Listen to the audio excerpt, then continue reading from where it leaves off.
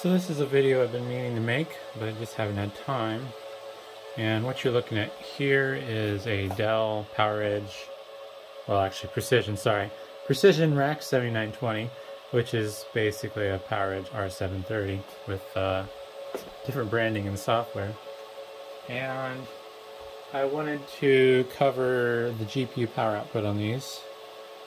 Um, luckily, I have an official Dell Power GPU power cable that came with this rack 7910 because well that's that little Quadro uh, NVS 310 is what came with this for a GPU which is um, yeah very sad.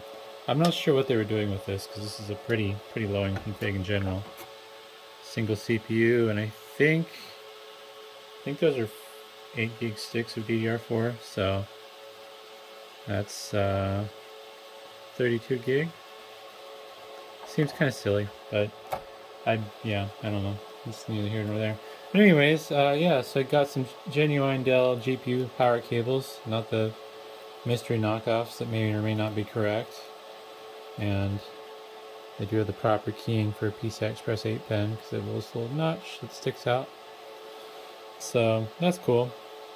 And one thing I learned about these cables, since the ones I had seen previously were the knockoffs, is they're wired a little bit differently. You got this little gray wire here that's jumping two of what normally be ground pins um, in the R720. It's jumping those two together. So normally when doing pinouts on these to figure out what's what, I would do it power off first because it's only supposed to be 12 volt and uh, grounds. but these are a little different, it turns out. And I did ask on ServeTheHome forums, and I forget what the answer was given specifically, but basically it's like some power sensing thing that that these uh, servers are doing to determine load or something like that, if I understand correctly. Um, so yeah, generally, so you can zoom in a little bit more on that connector. So generally speaking, um, good focus. There we go. So on the right side, the top three are going to be plus 12. Bottom one's ground. And then, yeah, these four on the left are ground. But one of these is actually ends up being plus 3 volts, which is why, or well 3.3, which is why that jumper is a thing. Let's see if I can get in there.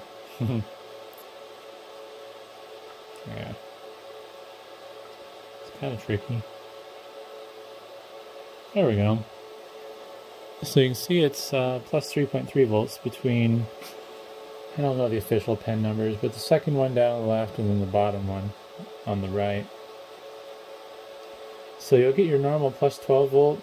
I'm just going to use the chassis as ground. I just want to do it right.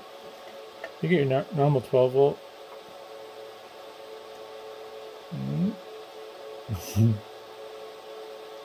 there we go. On the top three on the right side. And this one should be the ground. Yeah, this one's the 3.3. And then you'll get your normal ground on the top one, not the second one down, the third one down, and the fourth one down, assuming I'm making good contact. I do have tape on these just in case, because I don't want to short something out accidentally. Especially not 225 watts. Oh, that'd be scary. The uh, wires get really warm when you uh, short them out by plugging the GPU power cables into a Tesla, so don't do that. Um, but uh, yeah, so just kind of an oddity to know about if you decide to make your own cables. Um, moving forward with my cables I'm making to sell, I am updating the design where I'm jumpering. Oops, I'm doing that little jumper. I do have some modular power supply cables I'm going to test that um, don't have that jumper, I believe. So I probably will not be listing those as being compatible with the R730 unless I get the time to actually test it. I don't know how I feel about doing that kind of testing though because I don't know for certain what it'll do. So I don't know if it'll damage the video card or damage the server at all.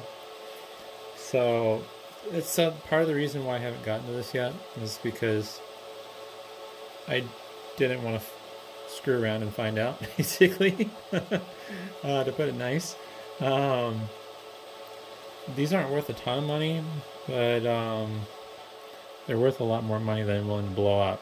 Like, I'm fine with nuking a uh, R720 for science if there's a benefit to me, but uh, I don't really want to nuke one of these 13th gen Dells.